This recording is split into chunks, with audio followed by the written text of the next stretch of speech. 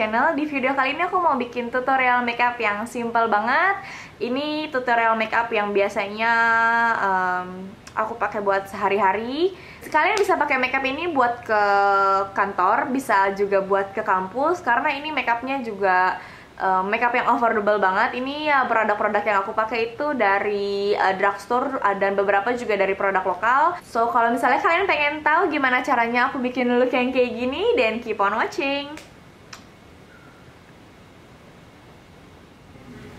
Karena ini uh, makeup untuk sehari-hari, pertama-pertama aku mau pakai skincare dulu.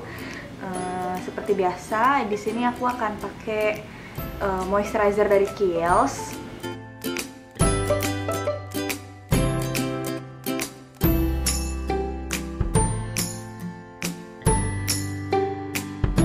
setelah pakai moisturizer aku mau pakai um, ini sunscreen dari Wardah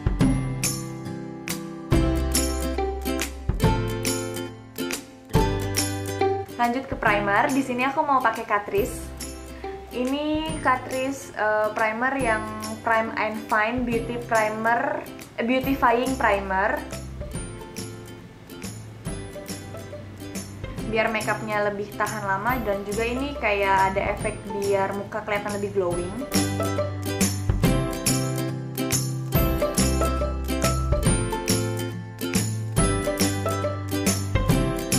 Lanjut ke foundation, di sini aku mau pakai Maybelline Fit Me yang matte poreless. Shade yang aku pakai ini nomor 220 yang natural beige. Di sini juga aku pakai foundationnya yang matte. Kenapa? Karena uh, kita bakalan makeup untuk seharian, makanya aku pakainya yang matte.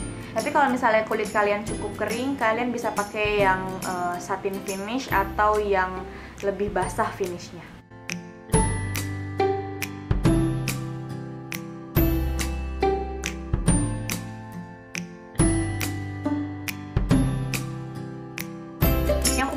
Aplikasiin concealer sama concealernya juga dari Maybelline Fit Me. Uh, ini yang shade 20 Sensible untuk ngecover under eye aku sama di sini ada bekas jerawat.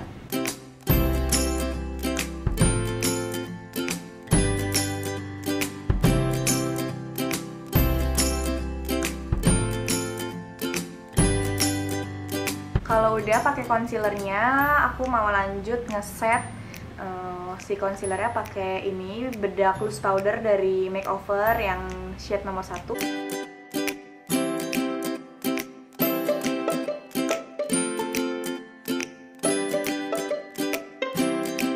Terus dengan menggunakan brush yang lebih besar, aku mau pakai loose powder yang tadi ke seluruh uh, bagian wajah aku.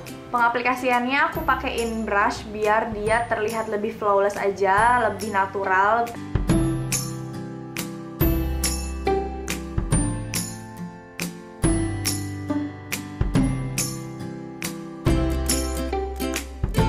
Bagian lehernya juga.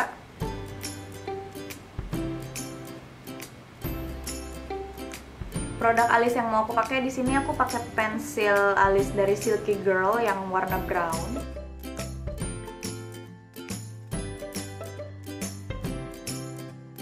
Alisnya udah jadi tadi aku pakai dua produk. Yang pertama pensil alis dari Silky Girl warna yang brown. Terus yang kedua aku pakai pomade dari LV Pro. Ini warna dark brown ini tuh bagus banget produknya bagus parah uh, dan harganya murah banget. Ini tuh kayak apa ya kayak Anastasia Beverly Hills yang deep brow pomade dan harganya murah banget. Ini tuh sekitar 70 ribuan. Kalau kalian yang lagi mikir-mikir untuk beli Anastasia kalian bisa cari alternatifnya tuh ini. Ini murah banget dan bagus banget. Nanti kalau misalnya kalian ada yang pengen uh, aku bikinin uh, video untuk nge-review produk ini nanti silahkan komen di bawah nanti bakalan aku bikin video untuk uh, nge-review produk ini oke? Okay? uh, di bagian alisnya memang nggak aku tambahin concealer untuk biar kelihatannya masih terlihat natural nggak terlalu ngeframe banget. Uh, di tutorial kali ini aku nggak pakai eyeshadow aku kalau misalnya kalian pengen pakai eyeshadow silahkan. Kalian bisa pakai eyeshadow yang warna coklat uh, atau yang coklat sedikit agak agak ada shimmernya sedikit biar kelihatan lebih fresh. Di sini aku mau pakai eyeliner gel dari L'Oreal. Ini yang gel Intenza 36 Hour Eyeliner. Untuk pengaplikasian aku di sini mau pakai angled brush yang kecil. Pakai angled brush yang pipi kayak gini untuk pengaplikasian.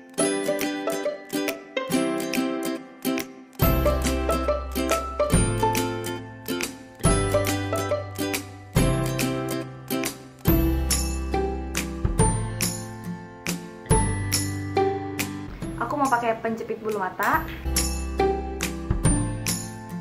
Terus aku mau pakai maskara dari L'Oreal juga. Ini yang Miss Manga.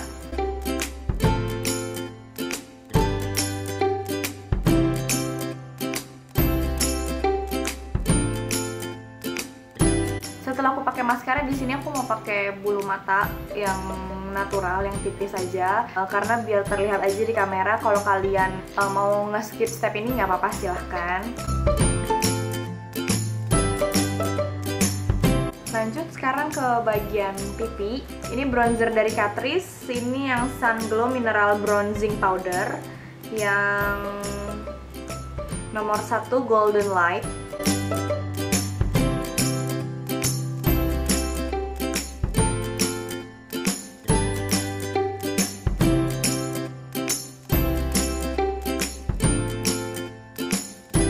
lanjut dari bronzer aku mau pakai ini blush on dari Maybelline yang Cheeky Glow nomor Fresh Coral.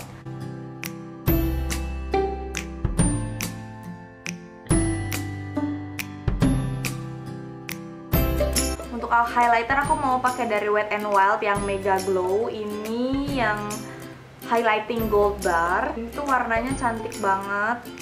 Cantik banget warnanya gold gitu. Kalau buat dipakai siang hari nggak terlalu.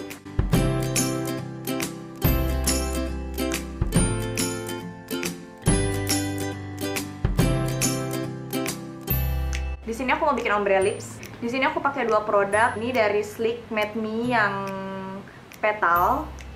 Ini warna uh, pink agak pucat gitu. Terus di sini uh, untuk ombre untuk ombrenya uh, ini aku mau pakai produk dari L'Oreal ini lip tint gitu. Jadi dia bentuknya kayak ada kuas terus di dalam sini ada powdernya gitu. Warnanya orange ke merah gitu. Pertama aku bakalan apply si slick ini dulu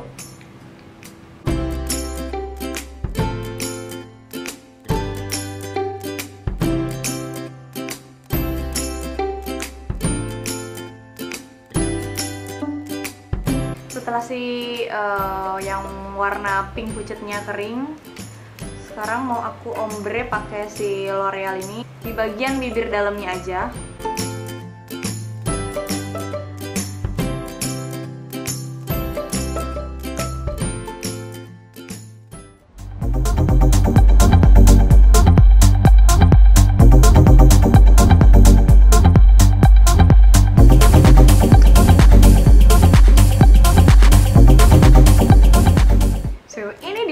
looknya dari makeup tutorial untuk daily kali ini Makeup tutorial kali ini bisa kalian pakai buat ke kantor atau ke kampus karena makeupnya simple banget. Yang aku pakai juga produknya produk-produk drugstore sama produk-produk lokal, which is itu masih affordable banget. Mudah-mudahan di video kali ini itu bisa menginspirasi kalian uh, untuk makeup sehari-hari yang simple tapi terlihat fresh juga untuk seharian dan tahan lama.